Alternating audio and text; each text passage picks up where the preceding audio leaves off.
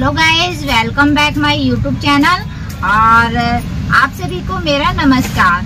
दोस्तों, आज मैं बताऊँगी बोगन बेरिया की कटिंग लगाते समय आपको क्या क्या बातें, बातों को ध्यान में रखना चाहिए जिससे आपका एक भी कटिंग फेल ना हो और उसमें आसानी से जड़ आ जाए।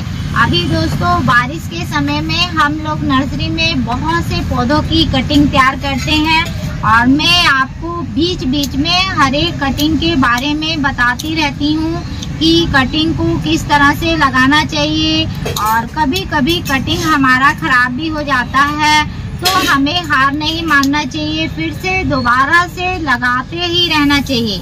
हम लोग भी कभी कभी लगाते हैं कटिंग तो कभी कभी पूरा बेड ही मर जाता है।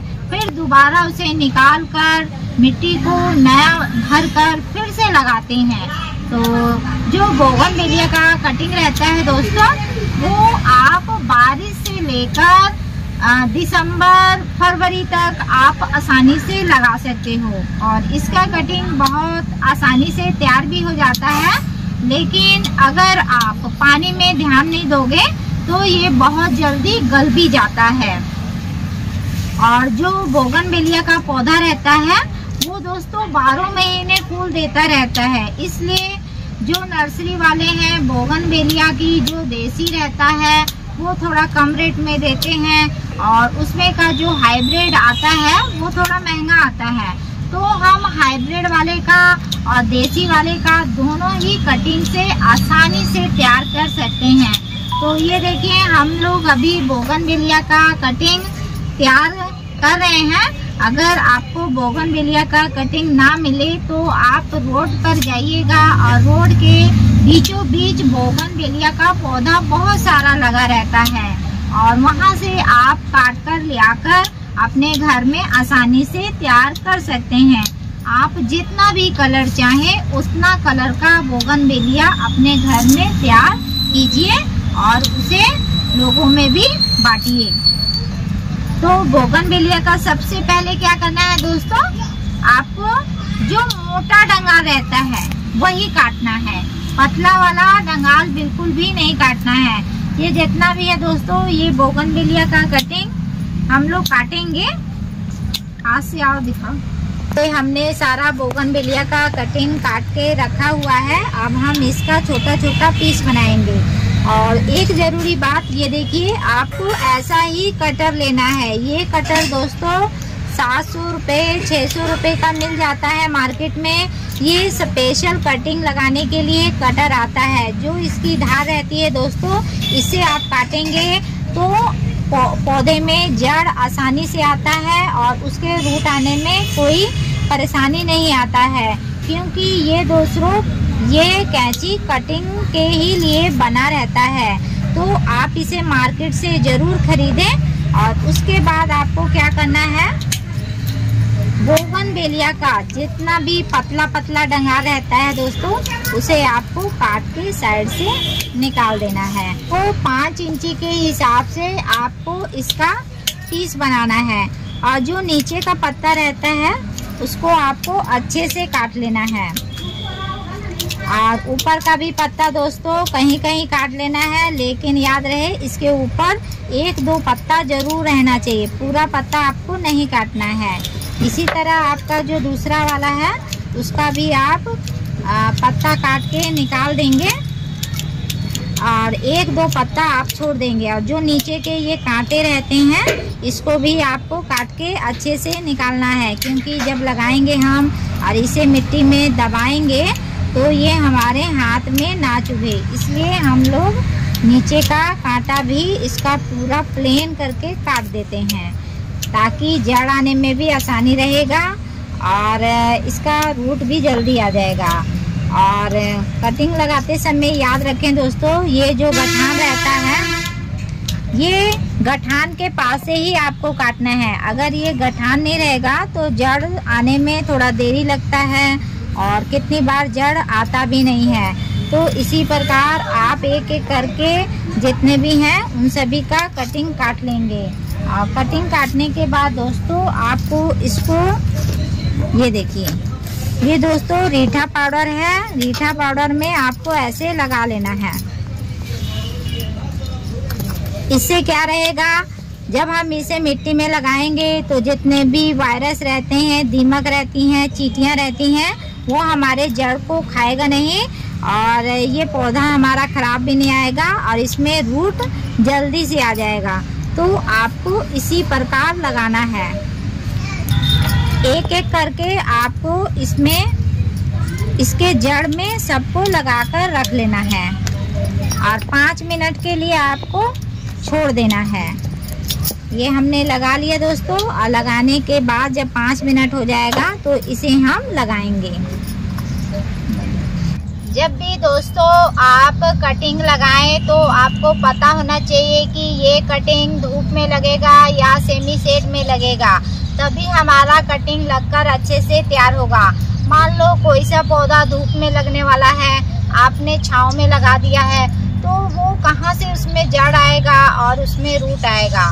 तो इस बात का आप खास ध्यान रखें। और जो बोगन का कटिंग रहता है दोस्तों, वो हमेशा आपको धूप में ही लगाना है। छाव में कभी मत लगाएँगे।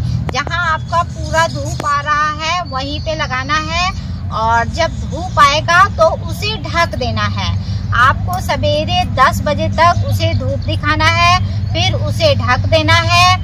और शाम के चार बजे फिर उसे धूप दिखाना है। इस तरह करेंगे तो आपके बोगन बेलिया में जल्दी जड़ आएगा।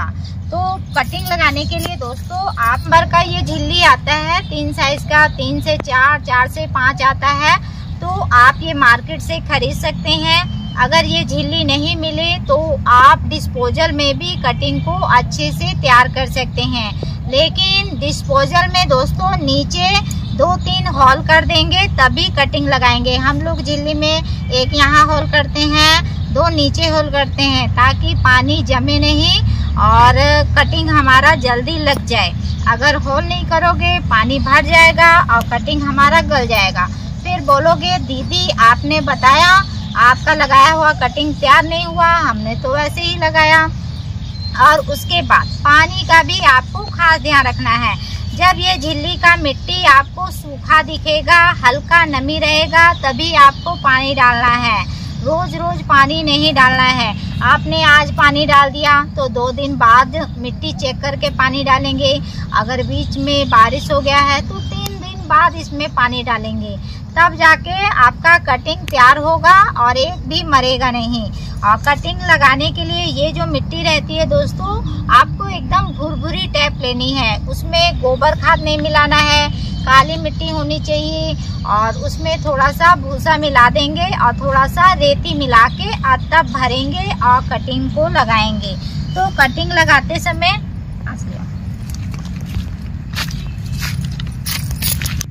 कटिंग लगाते समय दोस्तों आपको ऐसे डाल झिल्ली में डाल देना है और ये मिट्टी को अच्छे से चिपकाना है ताकि जो जड़ रहेगा उसमें दोस्तों हवा नहीं जाएगा। क्योंकि ऑपरेशन होता है तो देखते हैं, पट्टी बांधते हैं ताकि उसमें हवा ना जाए। तो ये कटिंग भी हम लगाते हैं तो दोस्तों मिट्टी को अच्छे से चिपकाया जाता है ताकि कटिंग में हवा ना लगे और जो कटिंग है हमारा अच्छे से तैयार हो जाए। तो हम लोग तो बहुत सारा कटिंग लगाते हैं दोस्तों। तो ये देखिए, ये इसमें कुछ मर भी जाते हैं, कुछ जी भी जाते हैं।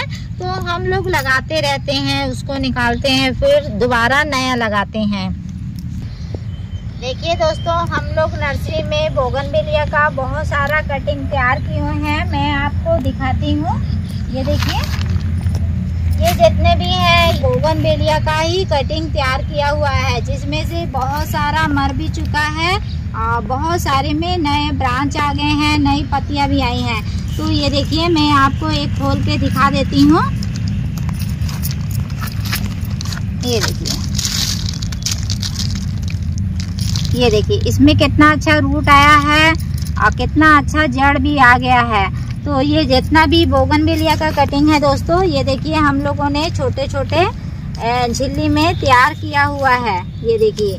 तो मैं चाहती हूँ कि आप लोग भी नर्सरी का पौधा घर में ले जाएँ तो उसका कटिंग आप तैयार करें, और एक पौधे से बहुत सारा पौधा आप तैयार कर सकते हैं अपने घर में। तो जब आपका कटिंग एक हफ़्ता या दस दिन हो जाएगा तो उसमें साफ़ पाउडर का उसमें स्प्रे करना रहता है। एक लीटर में एक चम्मच डालेंगे और जितने भी कटिंग वाले पौधे हैं, उन सभी में आपको स्प्रे कर देना है। ताकि जो जिसमें जड़ आ गया है तो ऊपर से कोई वायरस और दीमक ना लग, ना लगे और पत्ता हमारा एकदम फ्रेश रहे। तो आप दोस्तों, इसी तरह बोगन बेलिया का कटिंग अपने घर में तैयार कीजिए। और मेरा वीडियो दोस्तों अच्छा लगे तो कमेंट करके ज़रूर बताएँगे। और मेरे हर एक वीडियो में आप नया कुछ सीखते रहेंगे। मिलते हैं दोस्तों फिर से एक नए वीडियो में। तब तक के लिए आप सभी को मेरा नमस्कार।